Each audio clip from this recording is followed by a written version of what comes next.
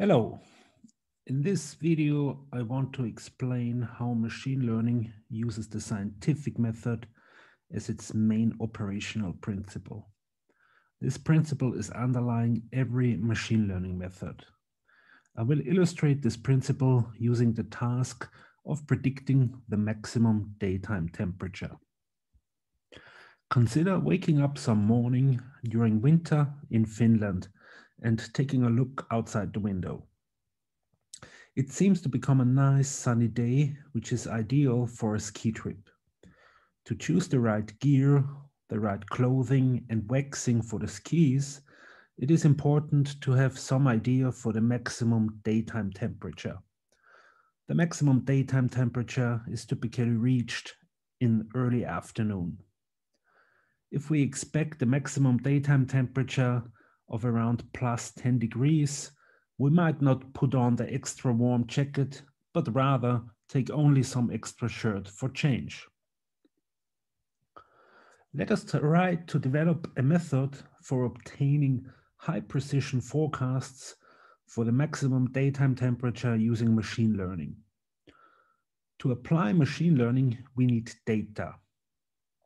To predict the maximum daytime temperature, it seems a good idea to use data points that represent winter days in Finland. However, we typically cannot fully characterize such data point as this would amount to collect all data, all information about one particular day. Instead, we use only two properties to characterize such data points. One property is the minimum daytime temperature. The minimum daytime temperature occurs typically in the morning. So this property of a data point can be determined easily at the morning of a day. The second property of a data point is the maximum daytime temperature.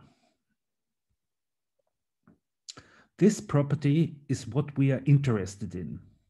We refer to such a quantity of interest as the label of a data point. The machine learning problem here is to predict the maximum daytime temperature y based on the minimum daytime temperature that we denote by x. And this minimum daytime temperature is what we can observe in the morning of a new ski day. Machine learning methods must use some hypothesis for how the minimum daytime temperature x is related to the maximum daytime temperature y.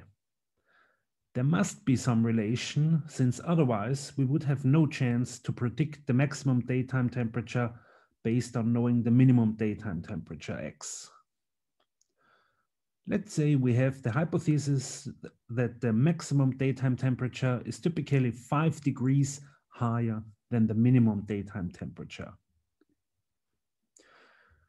Given this hypothesis, we predict the maximum daytime temperatures for previous days. Since we compute the predictions for previous days, we can compare those predictions with the actual maximum daytime temperatures, which are in some sense the true labels of the data points. We can then use the discrepancy between the predictions and the actual maximum daytime temperatures to improve our hypothesis.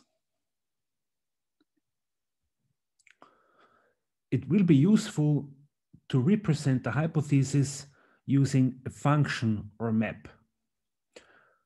This map h takes the feature value x as the argument or input and delivers or outputs our guess or prediction for the label value, which is the maximum daytime temperature here.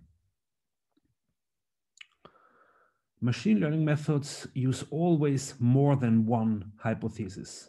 In fact, most machine learning methods use hypotheses which contain infinitely many different hypotheses. In our temperature prediction task, we have used the hypothesis space constituted by all hypothesis maps of the form x, which is the feature, plus some number b. And this number b can be varied by the learning method. So here we depict three particular hypothesis maps that are obtained for b equal to zero, b equal to one, or b equal to two. The temperature prediction problem then amounts to fitting one of these straight lines to given data points that represent historic temperature recordings. So each data point here corresponds to one previous day, which is characterized by the minimum daytime temperature X and the maximum daytime temperature Y. Such weather recordings can be obtained, for example, from the Finnish Meteorological Institute. Let me wrap up this video by summarizing how machine learning uses the scientific method to make predictions.